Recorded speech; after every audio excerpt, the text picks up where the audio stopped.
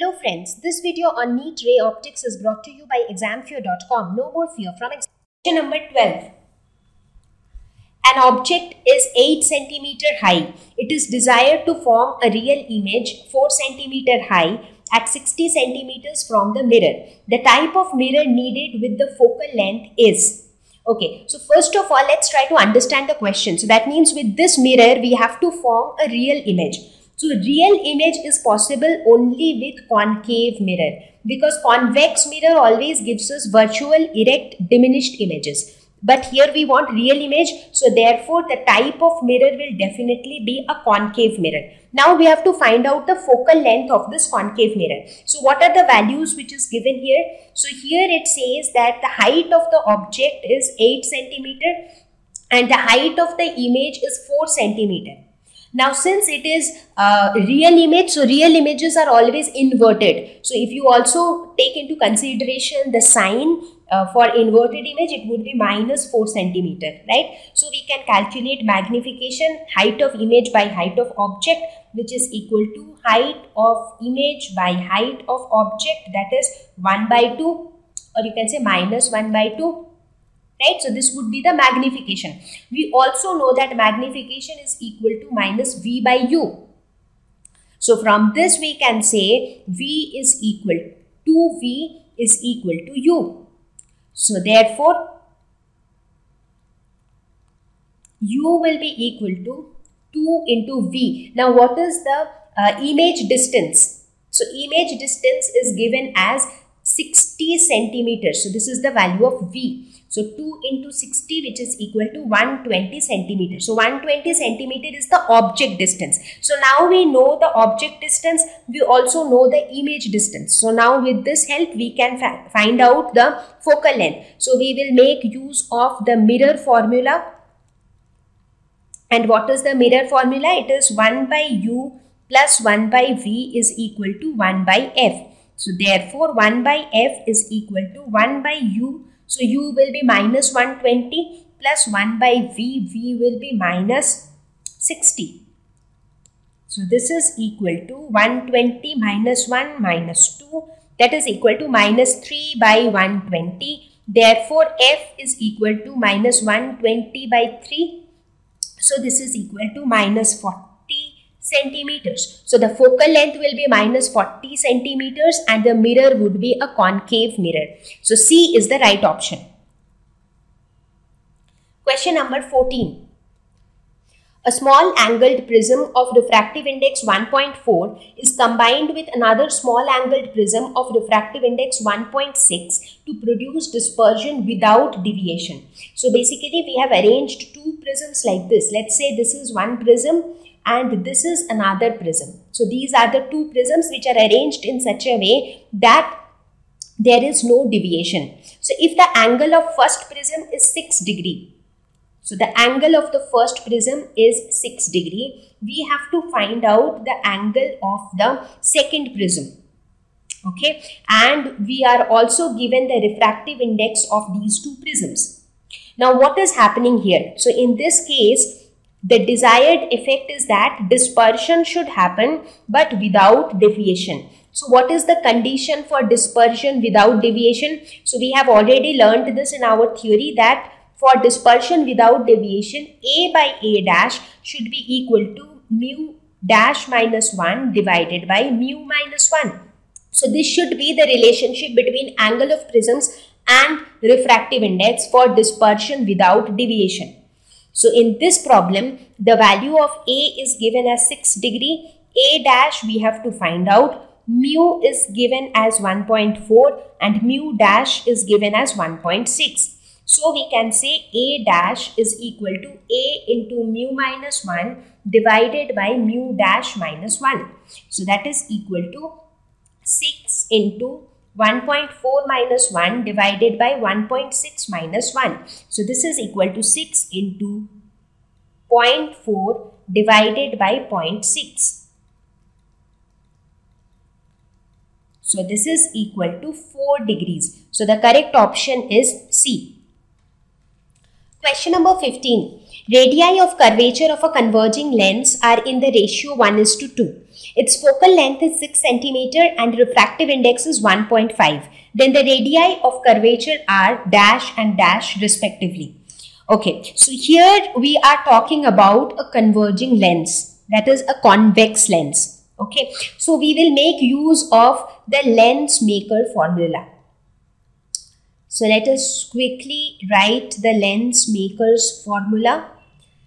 So it goes somewhat like this. 1 by f is equal to mu minus 1 1 by r1 minus 1 by r2 right? Now when we look at a converging lens this is how it looks like. So let's say r1 is the radius of curvature for this surface and r2 is the radius of curvature for this surface. Right? So in this case what are the values? Now we do not know. We have to find out the values of r1 and r2 so let us say let r1 be equal to x and r2 will be how much? Because the radii of curvature are in the ratio 1 is to 2 so if r1 is x then r2 will be 2x but in this case if you see r1 is positive so r2 will be negative so this will be negative. So now let's put values in this formula. Focal length is 6 centimeter. So 1 by 6 is equal to mu is 1.5 minus 1. 1 by x minus 1 by minus 2x. So this is equal to 1 by 6 is equal to 0.5 into 2 plus 1 divided by 2x. So 1 by 6 is equal to 0.5 into 3 by 2x. So from here we can say 2x is equal to 0.5 into 3 into 6 or x is equal to 0.5 into 3 into 6 divided by 2. So 2 3 is a 6. This is equal to 4.5 centimeter. So x is equal to 4.5 centimeter. That means R1 is equal to 4.5 centimeter and R2 will be equal to 2 into 4.5 that is equal to 9 centimeter. So the correct option is D. Question number 16. A vessel consists of two plane mirrors at right angles as shown in the figure. So these are the two plane mirrors. The vessel is filled with water. So here we have water inside the vessel. The total deviation in incident ray is. Now here we have to remember the concept of deviation produced by plane mirrors. So we have learned that how, how do we find out deviation produced by two plane mirrors.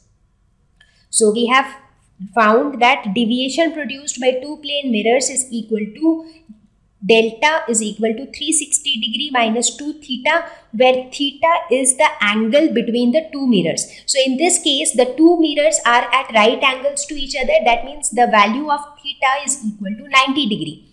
So if we put this value, so this is 2 into 90, that means 360 degree minus 180 degree which is equal to 180 degree. Right? So we can say that the total deviation in the incident ray is 180 degree. So basically how will this incident ray move? So this incident ray touches this surface, undergoes reflection, again touches this mirror, undergoes reflection, so if you look at the reflected ray and the incident ray, they are exactly in the opposite direction. So the angle between the incident ray and the reflected ray is 180 degrees. So D is the right option. Question number 17. The diameter of the eyeball of a normal eye is about 2.5 centimeters. The power of the eye lens varies from Okay, so here let us draw a rough diagram. Let's say that this is the eye. So normally this is where the eye lens is located. So this is just a rough diagram. And this is the retina. So retina is that is like the screen. So this is the position where the image is formed. And let's say that you have an object here. So what happens? Ray of light from the object falls on this lens and then finally an image is formed on the retina. So the object is here and the image is here. Now what happens in case of normal vision? So if you talk about normal vision, in that case the near point is 25 centimeters and the far point is infinity. So that's for normal vision. Okay. So now here we have to find out the uh, power of the lens. That means the range of the power of the lens. So first we will talk about the power of the lens for the near point. So in order to find out the power of the lens, we will first have to find out the focal length of the lens. So for near point, let's apply the lens formula 1 by V minus 1 by U is equal to 1 by F. So what is the value of V? So the value of V in this case is basically that this distance which is nothing but the diameter of the eyeball right? That that is this distance. So v will be equal to 2.5 centimeter. So we can write it as 2.5 into 10 to the power minus 2 meters. This minus u the value of u would be minus 25 centimeters because the object is on this side. So this would be minus 25 into 10 to the power minus 2 this is equal to 1 by f so this can be written as 1000 by 25 minus minus plus. This is equal to 100 by 25 is equal to 1 by f. So we can say that 25 into 40, 25 into 4. So we can say 44 is equal to 1 by f. So 1 by f is 44. So power is equal to 44 diopters. Right. So for the near point, the power of the lens should be 44 diopters. Now let us talk about the far point.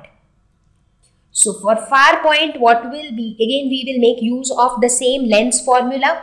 But in this case, what would be the value of V? Value of V will still remain the same because we can only see an object when the image of that object is formed on our retina.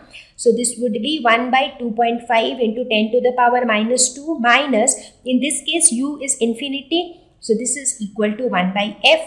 So we can say that 1000 divided by 25 is equal to 1 by f. So this is 40. So therefore power in this case is equal to 40 diopters. Therefore the power of the lens can vary from 44 diopter to 40 diopters. This is option C. Thank Please visit examfear.com for free quality education. You can learn with a simple four-step learning process wherein you can watch video lessons, you can ask your questions, you can refer notes, and you can take a free online test. We have content for class 6 to 12 on physics, chemistry, mathematics, and biology along with practical videos.